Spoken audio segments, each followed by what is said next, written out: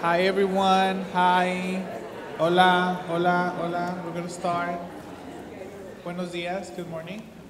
Uh, my name is Jose Medrano, and I'm from UC Riverside, and I'm going to be introducing the stories from the field.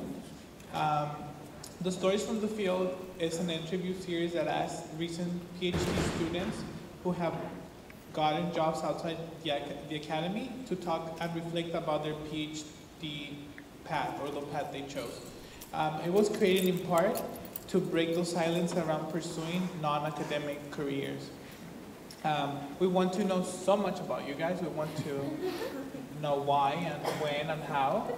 Um, and what I love the most about stories from the field is that we get to see their faces. We get to see who they are. We get to see their spirit behind the name.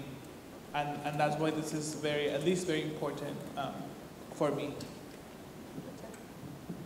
Thank you for coming.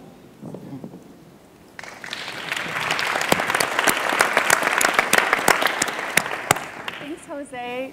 Can y'all hear me? So I'm Anna Finn. I'm the graduate student researcher at UCHRI, and I'm also a graduate student in English at UCI. And I'm really excited to be able to facilitate this conversation today.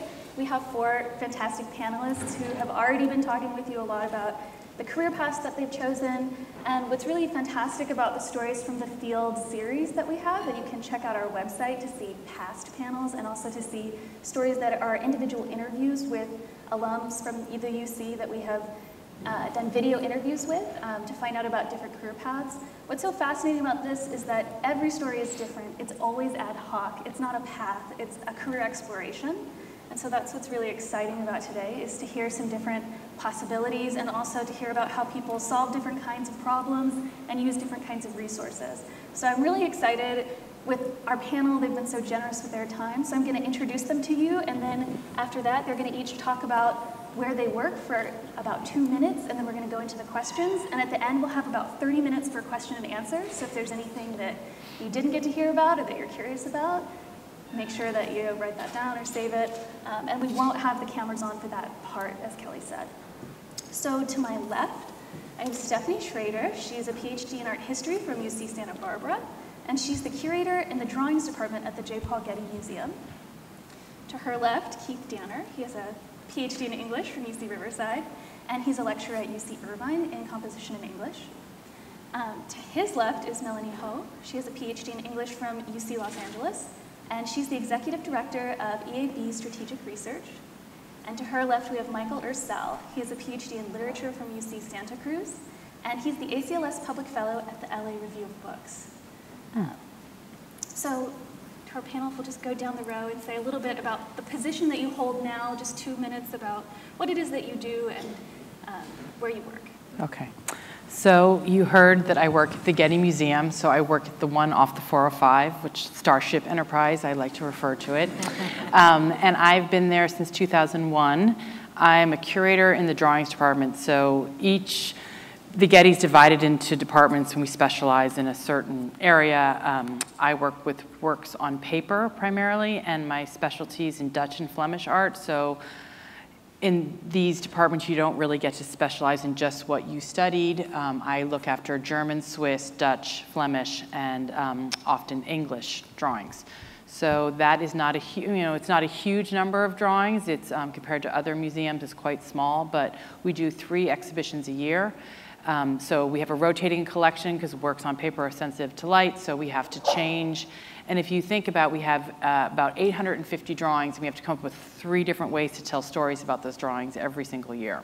So I um, do that. I have to look at really all schools to do that. We also are still in the process of building the collection, so we acquire. So I go to art fairs and auctions to sort of target things for acquisition. We have to write long proposals to justify why we want to buy these. I have to do presentations about these works to um, other departments, to our director, and to trustees. And we also have to fundraise for our, um, because never, there's never enough money out there. So we go to wealthy um, individuals in the community and ask them for their support to buy drawings in our department, which is interesting because um, many, you know, when you work with people for fundraising, they often have an opinion about what they want you to buy, but we try to keep it that they trust us, that we know what the department needs, what the collection needs, and that we ask for their funds, but we ask for them to give us their funds without judgment.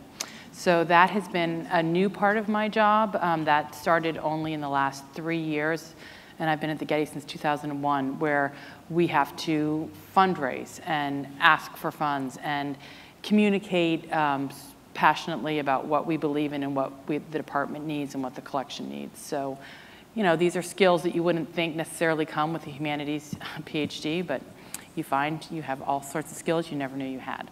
So let me think, anything else that we do? So I publish, um, so not only do we do exhibitions, we publish books about those exhibitions. Um, some of the, the books are longer than others. Some of them are just sort of small pamphlets, um, but we also write articles in relation to things in our collection and then go to conferences to present. So it's a lot of the stuff that I was doing in terms of writing my dissertation, um, but then the whole development aspect is a whole new field. So that's, I think, enough, I hope. I'm a lecturer in the English department. I teach um, freshman writing classes at UC Irvine. Um, I don't know how many people know you know, exactly how things work. I can, during the question and answer, I can talk about the non-tenure track um, lecturer population at UC, which does a significant amount of teaching us along with graduate students. Um, so you know, I teach freshman writing. I teach a variety of those classes. I have a certain amount of freedom in terms of uh, development of curriculum, but um, that's just a matter of institutional uh, character, culture. I, I, I, understand it's different. I learned last night just how different it can be uh, in terms of the freedom that people get uh, at different institutions. But I have relative freedom and in some cases absolute freedom to, to develop uh, curriculum. Hmm. Historically, I don't do it right now, but historically I've also trained graduate students. So I, um, incoming graduate students. I'll look at their syllabi before the quarter starts, um, go to observe them early in the quarter and write up uh, an evaluation of what they've done and give them some ideas for what they could do better. Um, it's, it's a teaching central, central job in terms of what I do. It's, you know, it's all centered around teaching. Um, yeah, that's what I have to say. Uh, Melanie Ho again. I am Executive Director at EAB, which is a division of the Advisory Board Company. We're a larger healthcare research consulting technology firm in Washington, D.C. Have been around since 1979, mainly serving healthcare executives. In 2007, my firm decided to expand into higher education, and I was lucky enough in 2008 to be there really at the beginning of that expansion. Uh, what we do is serve about 1,000 colleges and universities across the country, uh, college and university executives from provosts to VPs of enrollment management, VPs of student success, uh, student affairs, advancement. Each group has its own membership. So we work with about 400 provosts. In any given year, we'll survey provosts around the country, ask them what are the four to six issues that are really keeping you up at night. Based on that, we'll find in any given year across the country, provosts are probably grappling with many similar questions. Maybe it's student success or faculty diversity or new budget models given increasing economic pressures. For each topic, we'll take a team of four to six researchers. They will take six to nine months doing 200 research interviews to really try to understand across the country what are the root cause problems that every single member is hmm. affected by, and then what are the 10 to 15 best practices that we think will be translatable for any campus. We'll then present those to our members and then spend the next year really working with them and their teams to help them implement.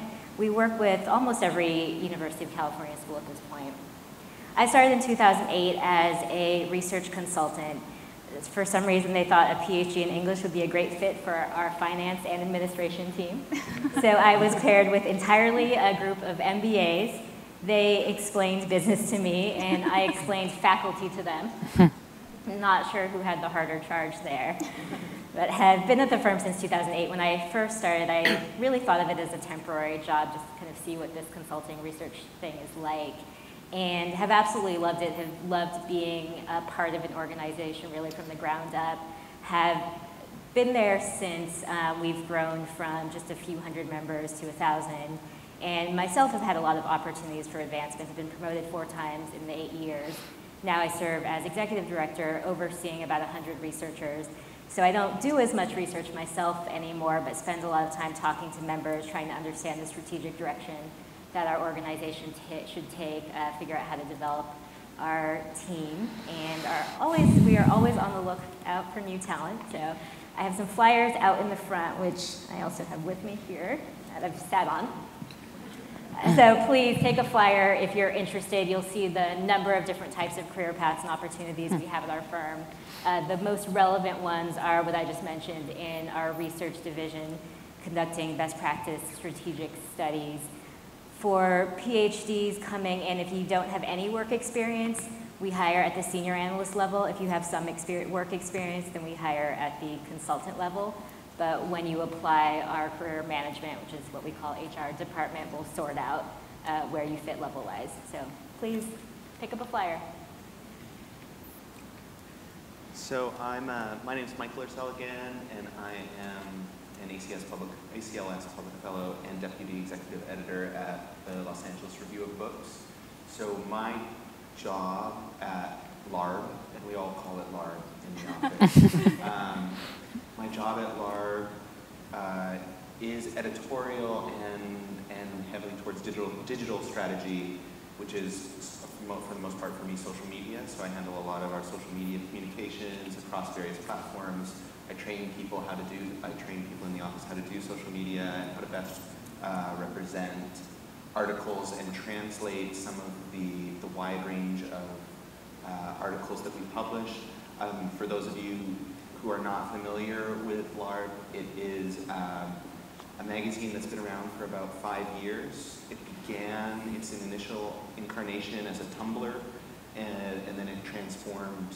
Uh, the plan was always to grow it into a website, but it transformed, and now it's in the third generation uh, of its design. And it was, it was started by Tom Lutz at UC Riverside.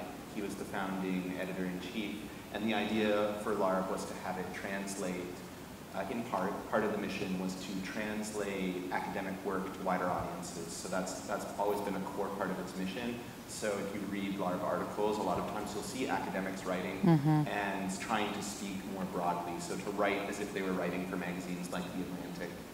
Uh, at the same time, LARB is a, we call it the big tent. So it, it holds a lot of content and a lot of different writers. We try to get as much content in there as possible. Uh, and so there are a lot of freelance writers and people who are just who are who are writers who are put in conversation uh, with their when their articles are put side to side with academics. So I'm part of uh, helping promote that content through social media, and uh, I work on the editorial side, specifically in the poetry section, with acquiring, editing, and seeing poetry pieces through to hmm. production.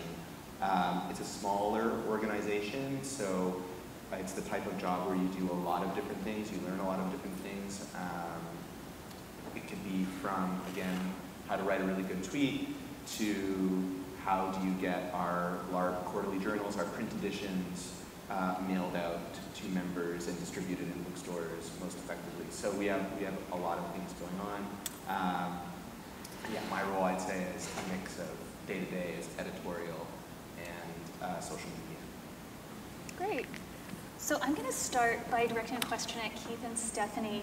Um, and I was hoping you could both speak to the way your support networks functioned. Were they your family, your graduate community, um, your committee, how they affected your decisions, and maybe also if there were support networks that you wished you'd had and how that might have worked, or real deficits that you saw.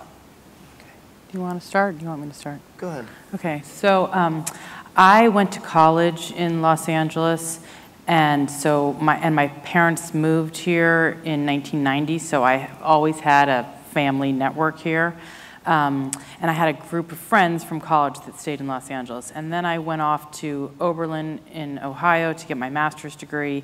And I came back and did internships at what's now the Hammer, but then it was the Grunwald Center for Graphic Arts that was on UCLA's campus. And then I was at the Getty as a graduate intern, and I should tell you all who are in art history, we have these every single year. They're great ways to get, you know, hands-on um, research. So you should look for those on the foundation website, a little plug.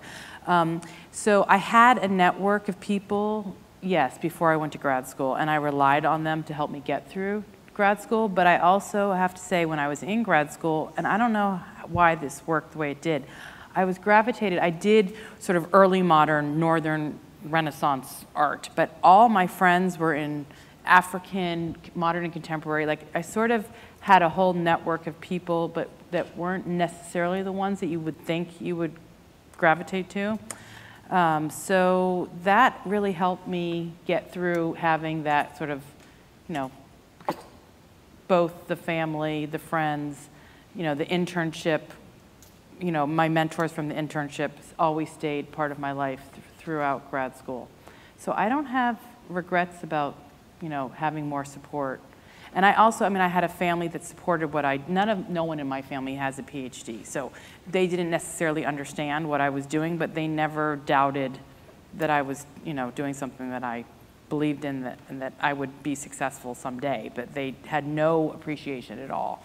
But my father still reads everything I write, which is, you know, like, and he has no idea what I'm talking about half the time. but so I did have that support. And that strong network kept you in LA for your career transition, or? N- Well, it, you know, the career happened, and, I mean, it was sort of fortuitous. I mean, I hadn't finished, and I got a phone call from someone I worked with at the Getty saying, you know, there's a job in the department that you worked in. I said, I know, but I want to, you know, finish my dissertation and go to, into academia.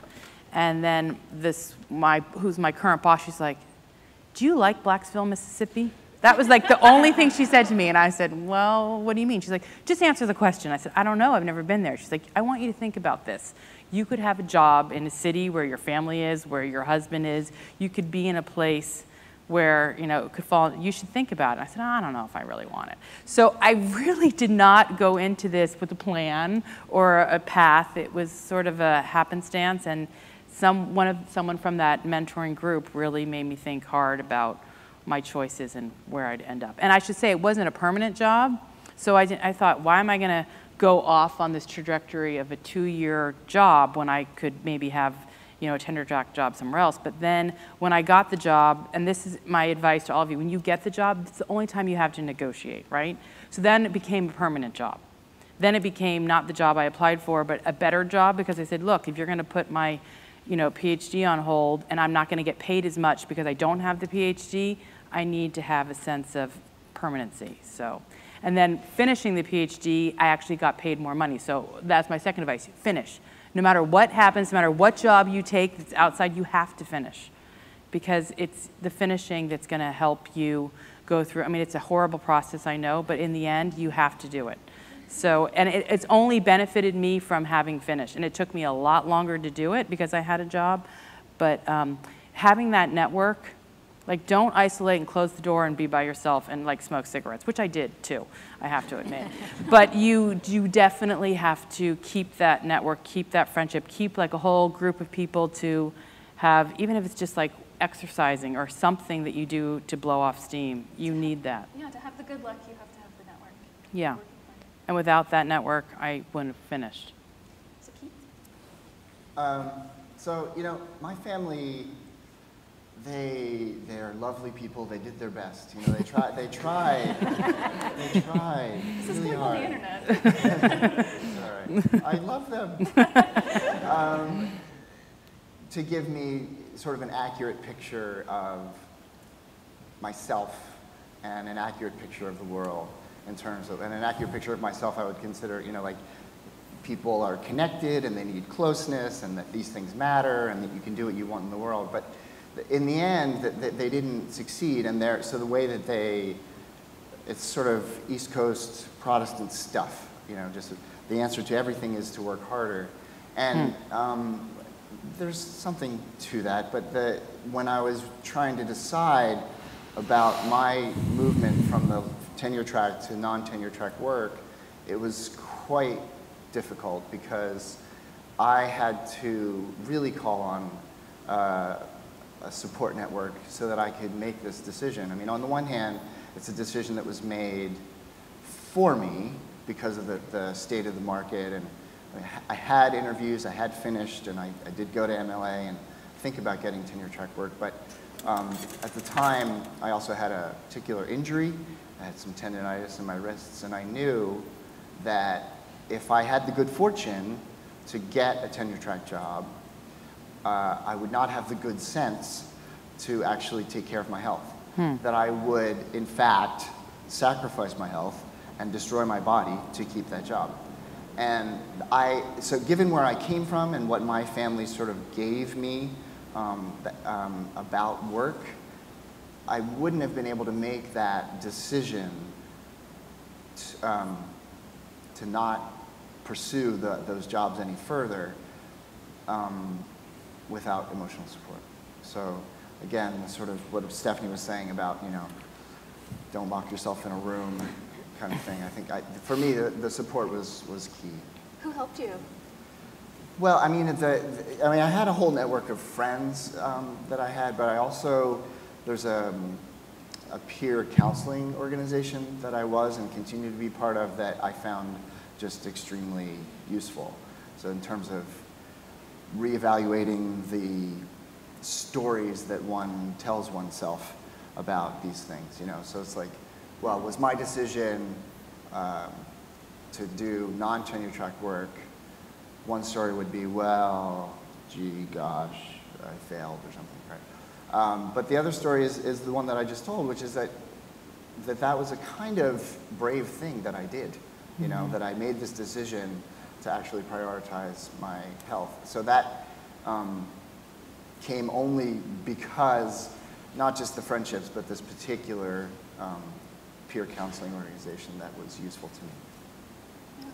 It's fantastic too that to, I think this is a space where we start to rethink values in the face of an institution that has one set of values and maybe we have a different set, like our personal health, which is a totally legitimate value mm-hmm. that sometimes gets erased in this labor. So um, I'm going to move on to Michael and Melanie. I was wondering if y'all would talk a little bit more about how your content specialty from graduate school relates to the work you do now, or if there are things you did in graduate school that help you with the work you do now, or if it's a complete mismatch and you find some real, like, uh, a real disjunction there. Sure, and I'm just going to add real quick to the last few comments because I think a common thread in them is don't expect the one network you rely on most predominantly now to be your same network for everything. You want to have different support structures, a support structure for exercise and health, a support mm-hmm. structure that just understands what you're going through and is there to listen to. That's a different support structure than the one that will actually help you get a job. I, I think there's a lot of frustration when people feel like I don't have the support I need because you're turning to the people that are most immediately around you and expecting them to be able to help you with everything and they just realistically can't. So think of it in terms of what are your support needs and then how do you find the right people for each one. Uh, but now I'll answer the actual question.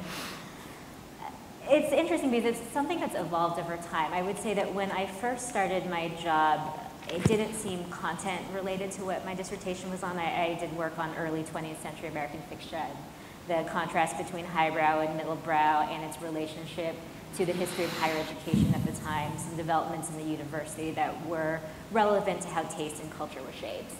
Uh, so there was some relevance in that higher education had a part of my dissertation and I was now working in higher education consulting, but that was about it. The main relevance would probably be more the problem solving and analytical skills I picked up through the process of a dissertation where essentially you're synthesizing very large amounts of information and trying to make sense of them, trying to make an intervention. I think of my work in higher education research and consulting as very similar. We are synthesizing very large amounts of information, but instead of it being a bibliography of hundreds of books, it's hundreds of research conversations with provosts or deans around the country. So that was translatable directly on a skill level. On a content level, I mentioned earlier, my first work at the advisory board was for our membership of VPs in finance and administration, who certainly have not thought much about middlebrow literature and its relationship to histories of higher education. Throughout time at the advisory board, I've cycled through a lot of different strategic challenges that our members face. And I've ended up spending most of my personal time, uh, not time where I'm managing other people's studies, but where I'm really even conducting the research myself, on the growing population of adult students. The fastest growth in higher education isn't in traditional first-time, full-time freshmen. It's in working adults who are coming back to school to finish college, to get a master's degree, to get a certificate.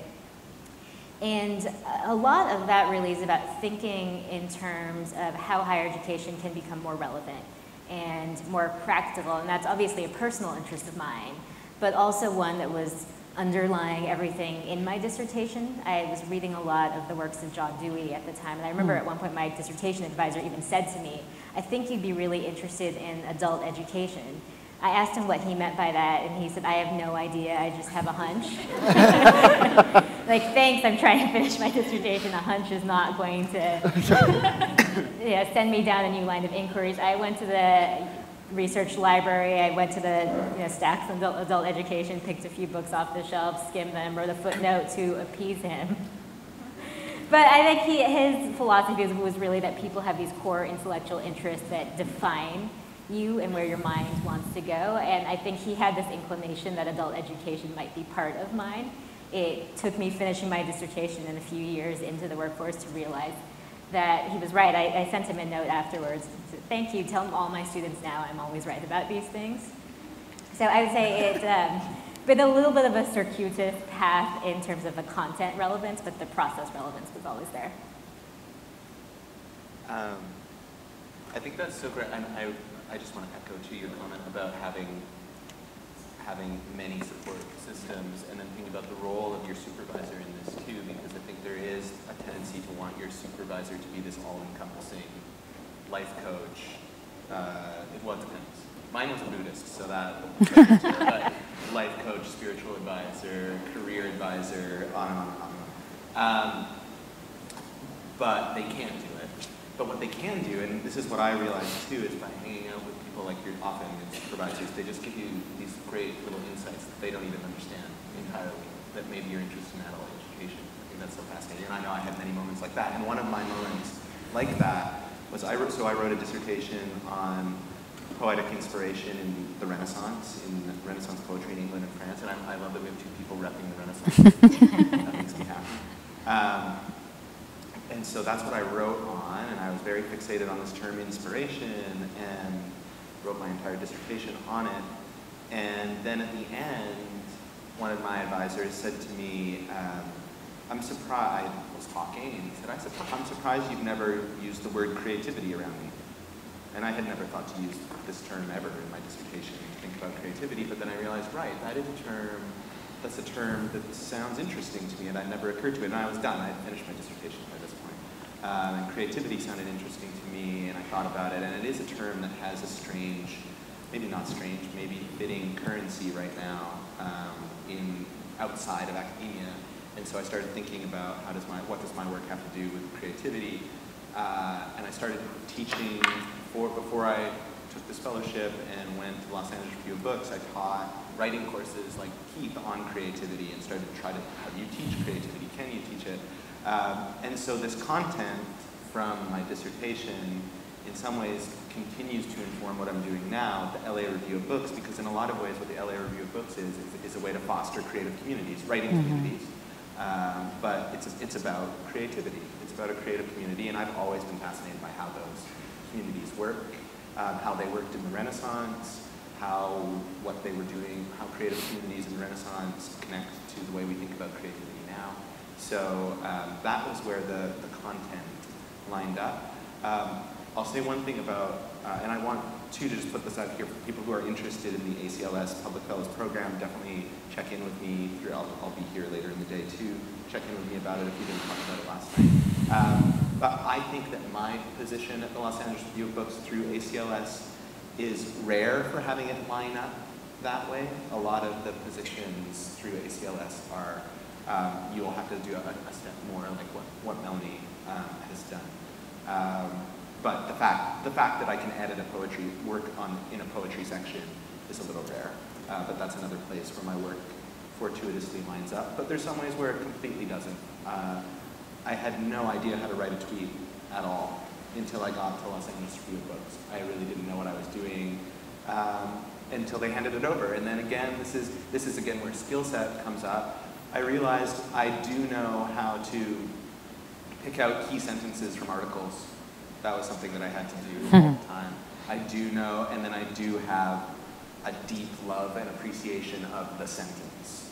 Not 140 characters, but the sentence. I love great sentences. Um, and this is something, too, out of my literary training, I've, I've come to realize that whatever form they appear in, I really love great sentences. So that's played into my social media work with LA Review books. So those are, those are a few ways. Mm-hmm. There's some crossover. I think a, a, common theme here, and something the five of us talked about on the phone a few weeks ago, was knowing what your values are and so if your value is, your, one of your top three values is you cannot imagine being in a job that isn't at least tangentially related to your intellectual interest the moment when you graduate, then that's an important thing to know. And I'm not saying you'll definitely find it, but knowing that's your value over, say, location or salary or level at which you come in the organization. Maybe you're willing to do entry level to have that, or you're willing to move to a different city to have that. Everything is a trade-off. You can't have all 20 of your values, but knowing the top three is what will help you be more fulfilled as you get that first job. And realize that that doesn't mean you're giving up on the other 17 values forever. You might find them the next year or four years after that. And it's fascinating how you had you both had mentors who knew something about you that you didn't quite yet recognize in your value assessment. So to be open to other people being mm-hmm. like, I mm-hmm. think this might be one of your values, and maybe think about it some more. Because um, values assessment, it's really difficult, mm-hmm. and it's something we focus on here, um, but it's something you have to actively do. Um. So it sounds like, uh, Stephanie, I was going to direct a question specifically at you. When we talked uh, a few weeks ago, you mentioned that you were in an extremely theoretical department, a theoretical art history department, but that you um, we're transitioning into a, much a practice role. Mm-hmm. And so I wanted to talk about the resistance or the experience of being in that theoretical department and translating your work to them because there's a good content fit, but how did mm-hmm. you manage that transition? And, right. and that's a values question too. Right. So, I mean, part of it came, from, I mean, when I went to Oberlin, it was more of a traditional program. So I had a master's, sort of reinforcing what I had as an undergrad as well. So I was hungry for something different. Um, I also had to do with the fact that I decided to stay in California because of my partner, so there weren't so many options in terms of where I was going to. I mean, when I went to grad school, you know, for Northern Ren, it was UC Santa Barbara. I mean, there were there was someone who did 16th century Dutch and someone who did 17th century Dutch in one art history department, which is just unheard of. So there really was no other choice. But unlike where I was um, in Ohio, where they had, you know, the Cleveland Museum of Art, and they had a collection on campus. Santa Barbara did not have anything like that. I mean, they have a museum, and now it's super fancy, but it was mostly architectural history. It wasn't Dutch and Flemish by any means. Um, there was hardly, I mean, they've developed more since then, but when I was there, you, you didn't go there to have hands. There was no seminar in the museum, where at Oberlin, you know, you would have a three-hour seminar in the print room using Durer and Rembrandt prints, like, and that was part of what you did in terms of your training. So that kind of experience did not have, it didn't happen at Santa Barbara. But what did happen at Santa Barbara was that, you know, you had to take this diverse course load, which I love about American programs, because European ones, you don't do that.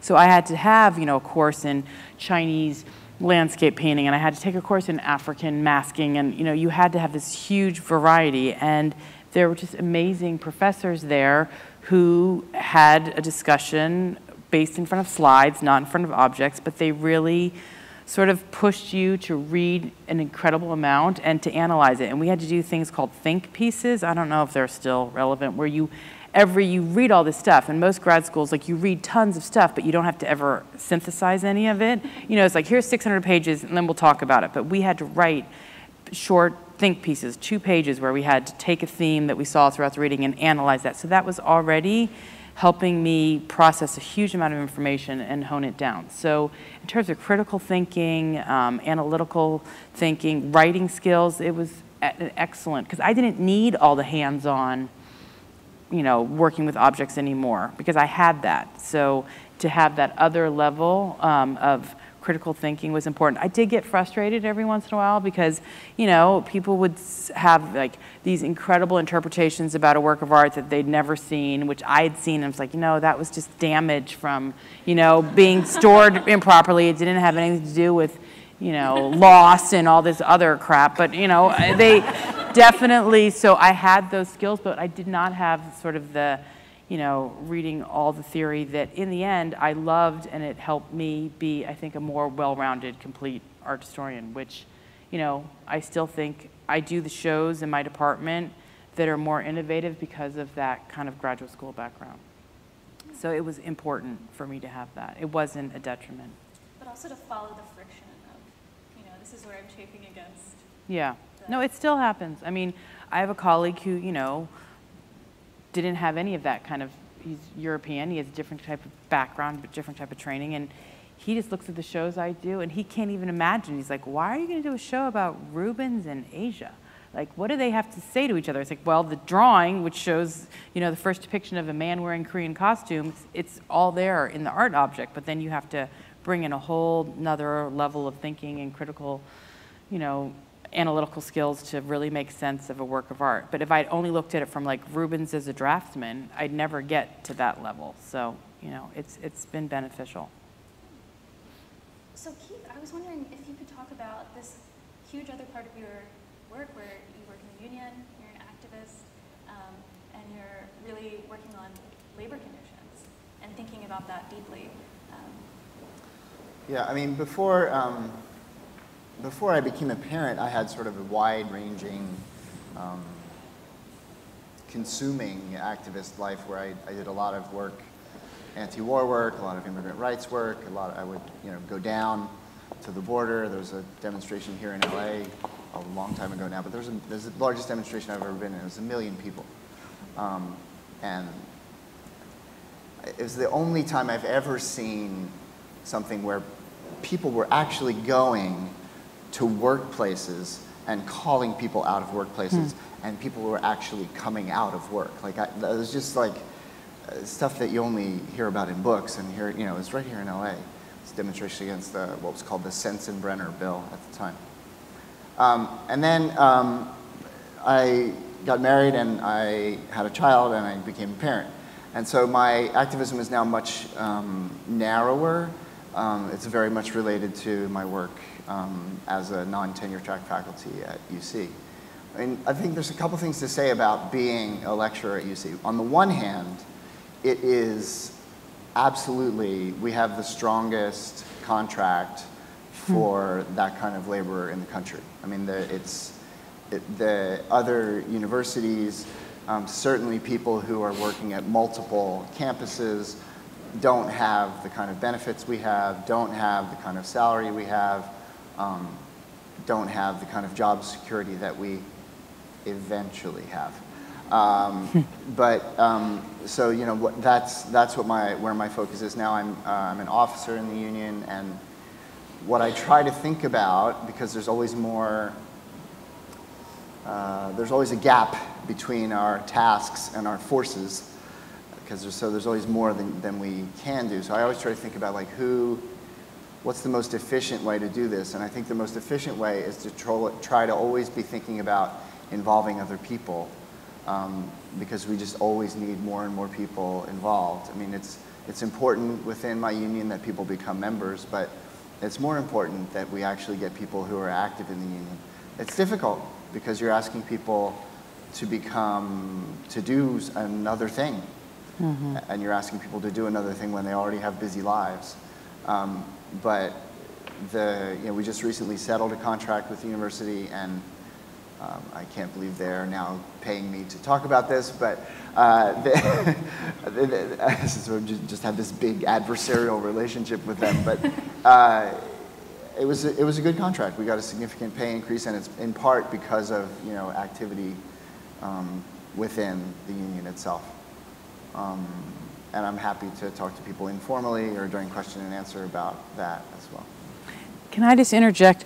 I think what you said, and I like having more than one job.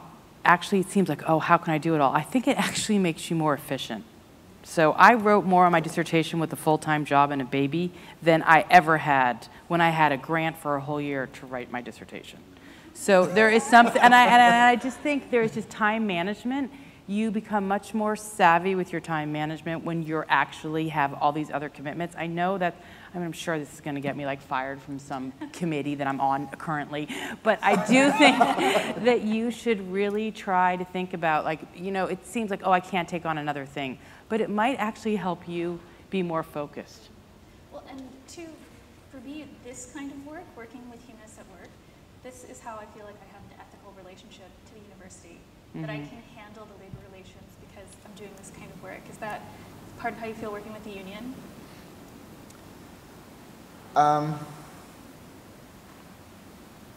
I don't know. I mean, to me, it's just that it, it, it matters and it makes a difference in my own working conditions. And then I just like the people. I like Mhm. the people in the union, you know, it, and it's, it's enjoyable. Um, one of the things I've learned about organizing is that, um, well, two things. One, if you have parties, people will come. if you have meetings, they may not. um, and two, uh, if you get 10 people to call people to come to the meeting, mm, probably none of the people they called will come to the meeting. But the 10 people who made the calls, they will come. Ask for a favor. Classic. Uh, so Melanie, um, you're directly evaluating hiring PhDs. I was wondering if you have advice about common mistakes that you see um, with PhDs who are new to the job market. Um, how do they stand out in good and bad ways to you? And how, did you, how do you think you stood out to get the job that you did?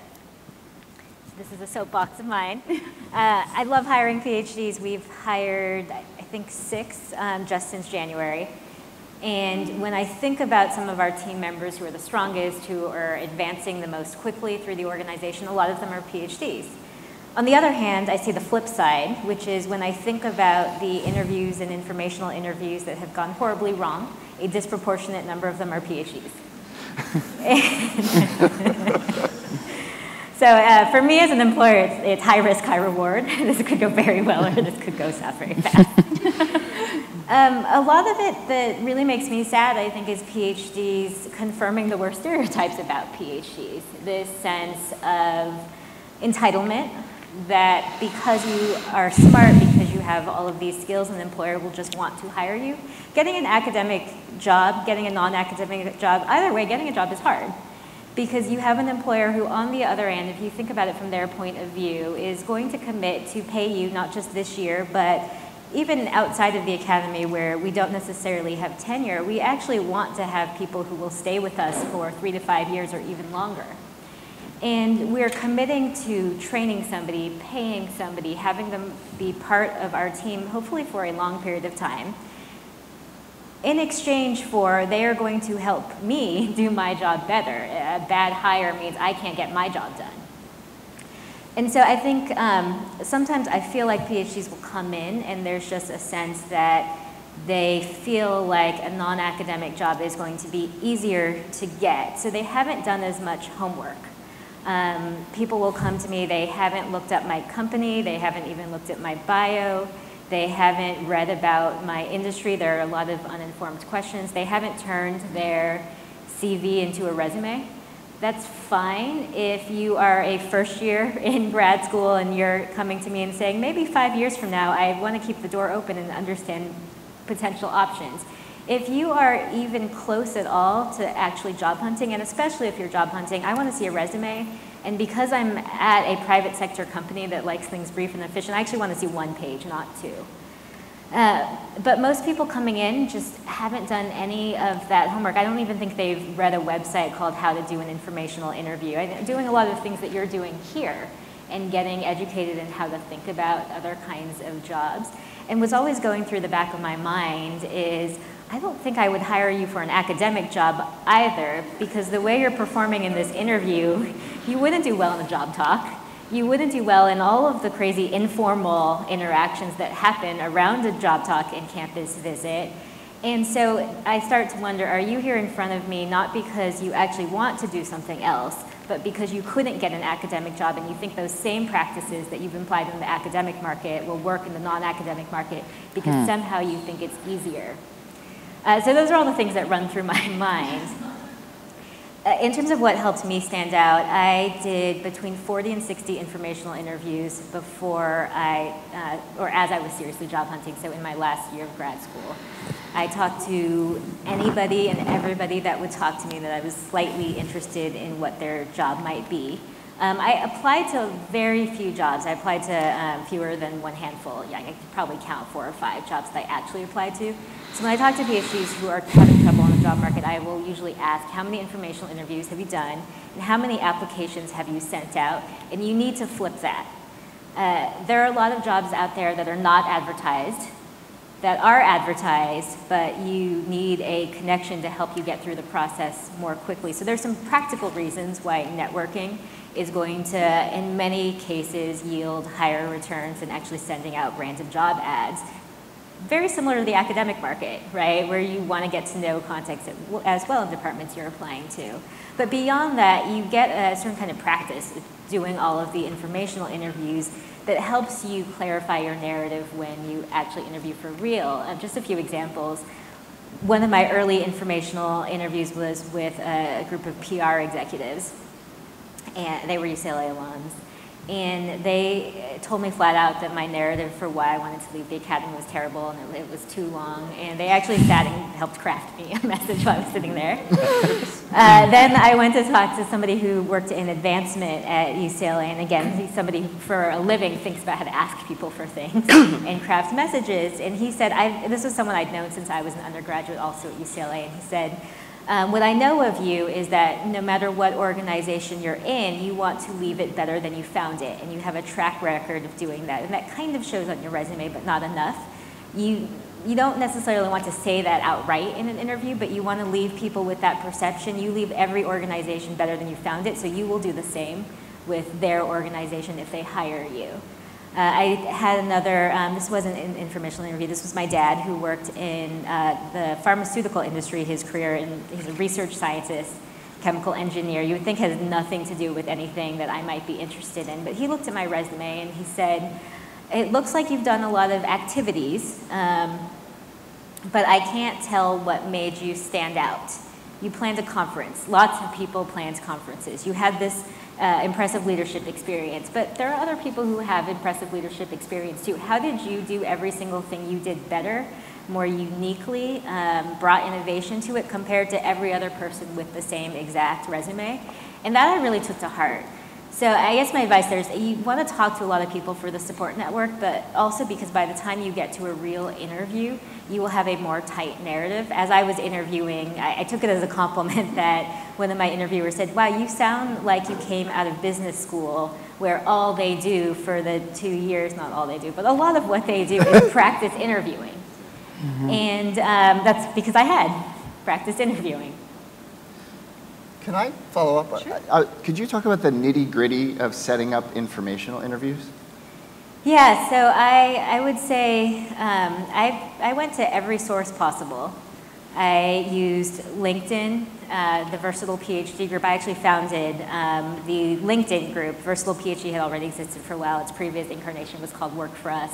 And this was when LinkedIn was still fairly new. I emailed the founder and I said, Can I uh, set up a LinkedIn group for you? She said, Sure, go with it. Uh, so I did that and I used that to help fuel my job search. I asked faculty members, um, friends of friends, people I went to college with. A lot of my contacts actually came from, I think of the strength of weak ties theory, which I'm not going to, I'm going to corrupt if I try to describe it, but I'm sure many of you are familiar with this idea that you're more likely to get a job often or get those really powerful connections, not from your immediate network, because you already know all the same people as your immediate network, but from some weaker tie. So first, in terms of generating the list, I went everywhere possible. I was telling some folks at dinner last night, my brother who works in the film industry, his agent had a friend of a friend in Washington, D.C., who was a lobbyist and offered to introduce me to a group of congressmen. Uh, I didn't take him up on it because it involves being in a cigar club. it, it didn't feel worth it to me. people want to help you. So first of all, I guess just ask and ask lots of people. Um, then, you know, just follow the standard send an email template. Um, if people don't reply, I actually gently nudge them a few weeks later. They, maybe they meant to and they were just busy. And one little trick I did, um, this works if you're informational interviewing a lot of people who are in kind of similar industries. I happen to do probably about 20 informational interviews with people who work at higher education associations uh, and lobbying groups in Washington, D.C. And I crammed a lot of them into one week spring break uh, during my last year of grad school. I actually brought a list to every meeting with the list of all the other people I was meeting with. And would sit down, show them the list. These are the people I'm talking to. These are the things I'm learning. Um, do you have any suggestions to add to the list? But it automatically sends them this subtle cue that you are not some random person. You're already part of their network. And it also sparks in their mind ideas of who else to introduce you to. So I think that probably yielded 10 other contacts from it. Plus, they just thought I was part of their secret club already. So we also have uh, informational interviewing um, advice and videos on our site. So it's one resource and you can find other resources from there.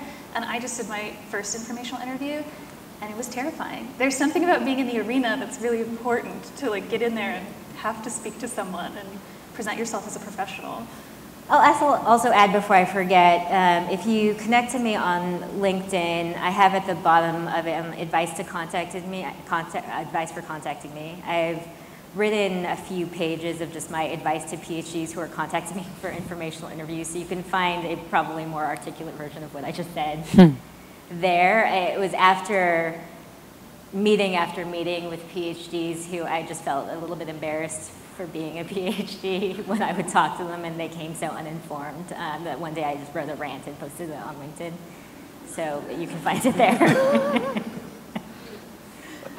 uh, so Michael, I was wondering if you could tell us more about, um, from your publishing perspective, the recent critiques of higher education that we've seen so much of and the, the quit lit and how you see that. Um, are they compelling? Are they relevant to you?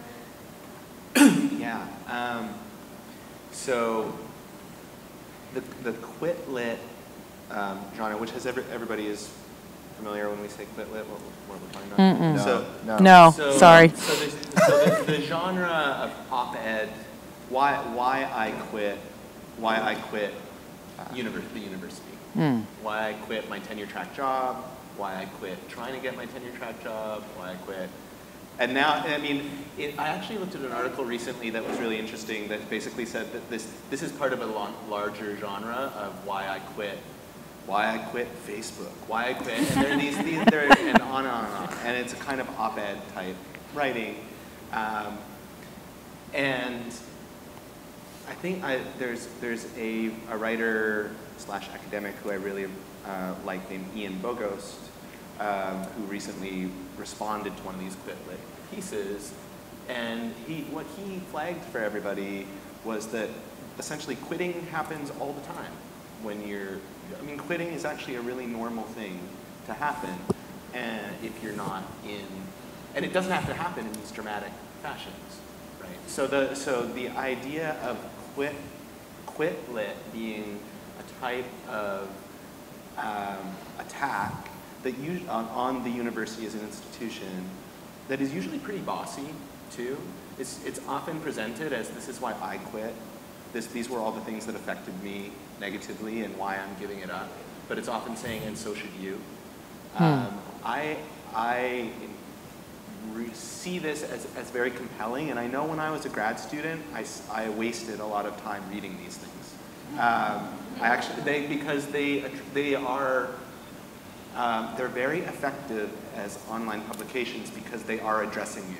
They know their audience, right? So this is something I was telling people last night is a lot of online publishing now is all driven by analytics and keying in on your demographic and knowing who you're addressing. And these pieces that tell you why you should quit graduate school or if you are in the midst of getting your, trying to get a tenure track job, why you should quit doing that, or if you have a tenure track, why you should quit doing that, to, they're, they're targeted to address you and get clicks and get you to read them. Hmm. Um, and I would, I, what I want to say about that is that, and what I've learned from taking nonlinear paths after my PhD, uh, is that quitting is totally normal. Quitting, quitting is, is a totally normal thing, and I feel like it has to be normalized, and it doesn't have to turn into this attack on the institution universities. There are lots of, we all know there are lots of things going on in higher education, public and private, across the board right now. There's lots of things going on. Um, universities need to learn how to speak outside themselves better. Um, on and on, there are labor issues that need, that need addressing. Um, but the idea that you can sum that up in a 1,000 word I quit article, um, I just in some ways wanted to say I I, I want to encourage people not to read that and think about what, what would the alternative narrative be to I quit? Or how could you think of, think of quitting as, as just a natural part of what it is to work? Mm-hmm. If, you, if what you do is work, sometimes you quit. And, and sometimes we have a different word. I mean, maybe it's changing jobs, right? You might not always call it this dramatic quitting. Um, but part, I think part of what plays into quit lit is is that there is a um, there is such a lifestyle attached that you really feel like you're giving something up. And yeah, and just to get personal, there were moments in the, at various points in my career where I think to myself, I would love to just walk up to my supervisor and say, I quit. right? But it's not really the type of thing you quit like that. You don't, you don't do that. Uh, and, I, and I'm totally happy that I did what I did. I mean, I'm sure everybody's had that moment or something like it. Um, but quitting and quitting, the sign of people quitting academia as a critique of academia that it's not worthwhile or doesn't have lots of, doesn't prepare you to do lots of other things, I think is the thing that I, I was interested in. I'm more and more interested in resisting. I love that. I mean, millennials are expected to have uh, 22 jobs over the course of a lifetime compared to 11 for baby boomers. And part of that is absolutely a fault on systems and employers aren't loyal in the way they used to be.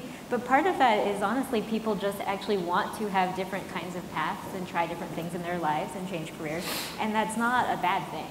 Yeah, and I think it's really, it's really empowering.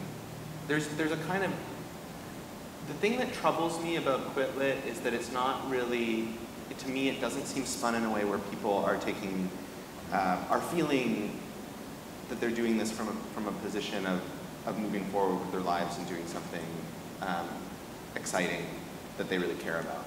It seems to come from a place of, of deep resentment and, um, and bitterness. And there are absolutely reasons um, but yeah, but there's just the, the, the nature of seeing your work as something that is constantly changing helps. And it, it helps us. When I finished, when I applied to the ACLS Public Fellows Program, I had not written a resume in 10 years. It was a long time. And I hadn't had to quit a job in eight, quit a job before I went back to school. So these, these things that are kind of, in some ways, more of a natural I don't want to naturalize, but these things that are part of part of people's life outside of academia that, that academia in some ways doesn't show you um, are things that, I, I think we need to find, find, I know there's a lot of talk about, we need to talk about failure more, and these days I'm, I'm, we need to talk about quitting more and in different ways. Yeah, and culture change in part is going to be about not having that abrupt break, but naturalizing the transition, that you're being prepared for a variety of careers, and those options are totally legitimate.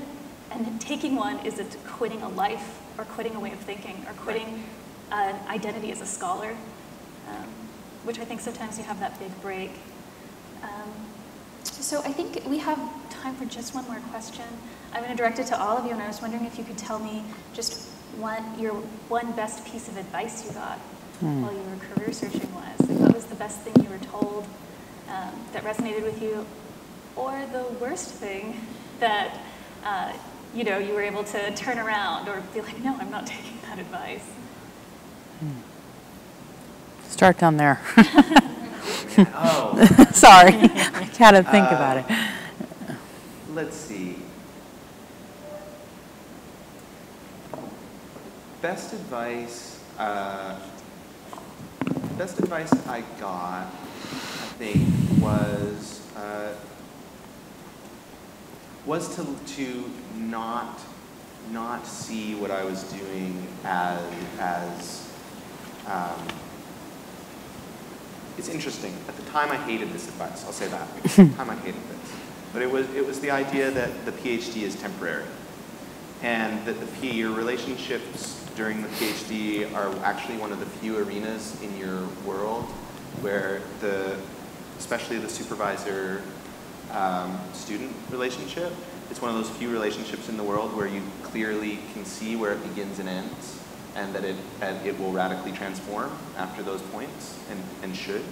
Um, and, it's, and it's rare in human relationships to, to have that happen. Um, and so the best advice for me was under, coming to understand grad school as a temporary experience um, was, and, and, a phase. Now that all is to say too, and I said this to people, um, and then this is leaning towards some of the personal stuff. I did uh, have to take some time to mourn that lifestyle after I left it. Um, it's not that I didn't love that lifestyle, but it, it, was for a certain time, and it couldn't last in that manifestation forever.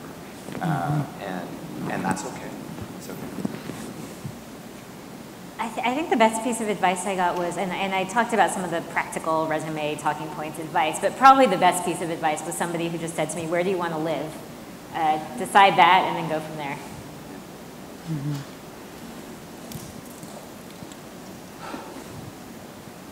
Sitting here getting angry at my advisor. Why did